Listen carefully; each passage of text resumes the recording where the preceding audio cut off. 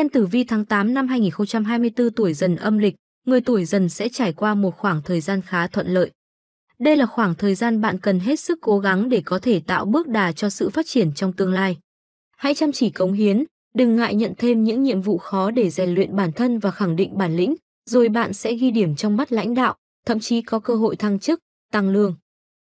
Hoan hỉ chào mừng quý anh chị tuổi dần đã đến với chuyên mục tử vi tháng của chúng tôi. Lời đầu tiên chúng tôi xin gửi lời chúc sức khỏe, bình an và may mắn tới quý anh chị. Trong video ngày hôm nay chúng tôi xin chia sẻ về vận trình sự nghiệp, tài lộc, tình duyên và sức khỏe của người tuổi dần trong tháng 8 âm lịch năm 2024. Hy vọng với những thông tin chúng tôi chia sẻ sẽ giúp quý bạn lên kế hoạch cho một tháng mới làm việc hiệu quả và mọi việc hanh thông. Ngay sau đây chúng ta sẽ cùng tìm hiểu thông tin chi tiết. Tháng 8 âm lịch là tháng quý dậu. Dương lịch từ ngày 3 tháng 9 đến ngày 2 tháng 10 dương lịch. Can chi là tháng quý dậu. Thiên can quý thủy. Địa chi dậu kim. Mệnh chủ dần mộc. Về phương diện sự nghiệp, sự nghiệp của người tuổi dần sẽ đạt được nhiều bước phát triển đáng mừng trong tháng này nhờ sự giúp sức của mộc dục. Bạn hãy chăm chỉ, cố gắng không ngừng, ắt sẽ gặt hái được thành quả xứng đáng. Công việc lặp đi lặp lại đôi khi có thể khiến bạn cảm thấy nhàm chán, song Nguyệt lệnh lâm thai khuyên bạn chớ nên lơ là, thiếu tập trung. Nếu không làm việc nghiêm túc, bạn dễ để xảy ra lỗi sai hoặc làm chậm tiến độ, gây ảnh hưởng đến cả tập thể. Nếu có quan điểm hay ý kiến gì, đừng ngại nêu lên trước tập thể. Bạn có thể giúp tập thể tìm ra hướng phát triển mới hoặc sẽ nhận được nhiều lời góp ý hữu ích của người khác, nhờ đó có lối suy nghĩ chính xác hơn. Trong các công việc nhóm, bạn biết lắng nghe mọi người xung quanh và không đặt cái tôi cá nhân lên quá cao.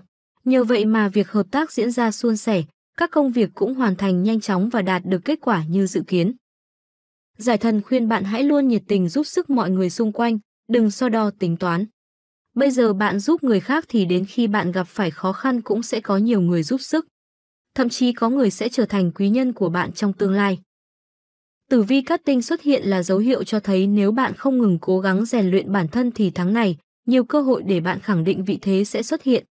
Nếu nắm bắt kịp thời, bạn có thể tạo ra những bước đệm vững chắc cho hành trình thăng tiến trong tương lai.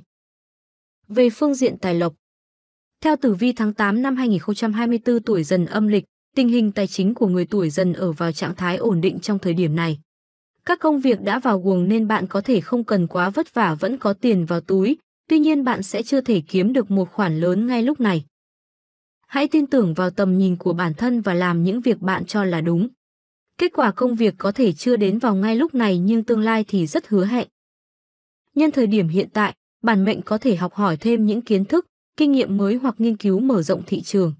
Hãy cứ tiến hành bình tĩnh từng bước một, chậm mà chắc, để đến khi cơ hội xuất hiện thì bạn có thể nắm bắt ngay. Đây cũng là khoảng thời gian quan trọng để bạn khẳng định vị thế của mình trên thị trường. Hãy luôn giữ chữ tín, làm ăn lương thiện, không tìm cách chiếm đoạt hay chơi xấu người khác, dần dần bạn sẽ xây dựng được đội ngũ khách hàng trung thành, khiến tiền kiếm được ngày càng nhiều hơn. Với người làm công ăn lương, hãy nghiêm túc làm cho tốt các khoản được phân công, rồi công sức của bạn sẽ được đền đáp xứng đáng. Cấp trên sẵn sàng dành cho những nhân viên xuất sắc như bạn khoản thưởng nóng dư giả. Khi tình hình tài chính dư giả, bạn cũng có thể tham gia vào những hoạt động từ thiện giúp đỡ mọi người xung quanh. Bạn giúp đỡ người khác lúc này thì tương lai cũng sẽ được mọi người giúp lại. Về phương diện tình duyên của tuổi dần. Tiếc rằng phương diện tình cảm sẽ không đem lại cho người tuổi dần nhiều tin vui.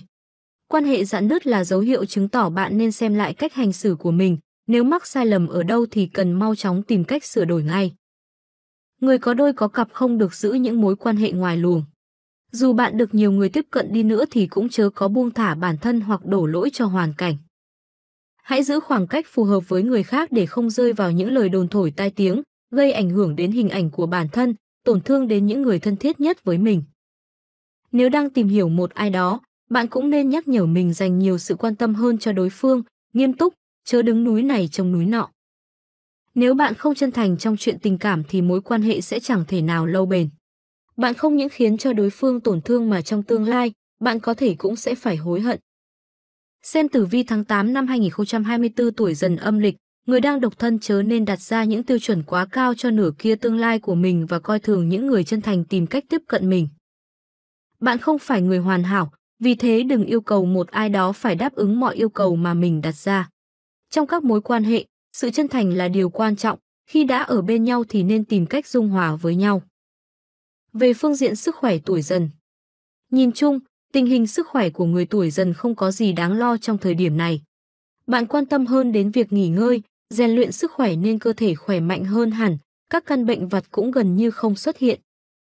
Hãy luôn giữ tinh thần lạc quan, vui vẻ dù đối diện với bất cứ vấn đề gì, như vậy thì bạn sẽ có thể vượt qua mọi chuyện một cách thuận lợi hơn.